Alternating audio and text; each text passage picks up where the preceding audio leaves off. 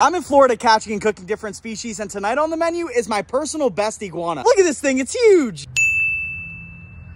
There it is. There it is. All day. He's All day. strong, Bring him this way, bring him this. Dude, that's a big iguana. Let's go. Look at these legs. That would be some nice iguana legs right there. Oh.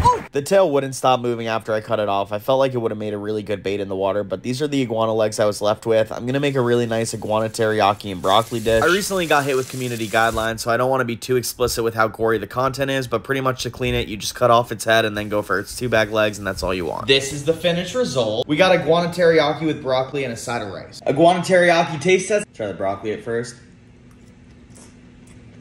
Really good. Moment of truth, a little bit of iguana.